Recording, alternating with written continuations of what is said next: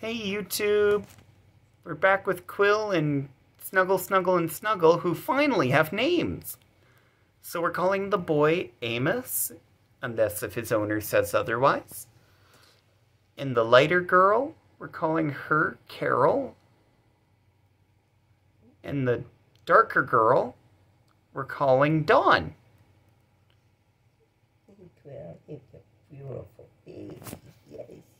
And Quill is so attached she will only eat if we hand feed her. What a brat.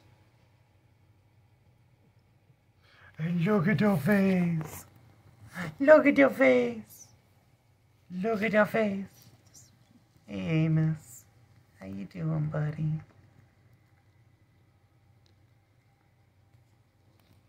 Look at that. Yep. He's so cute. They were falling asleep in our hands a little bit ago and twitching.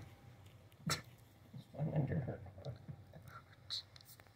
Alright, bye YouTube.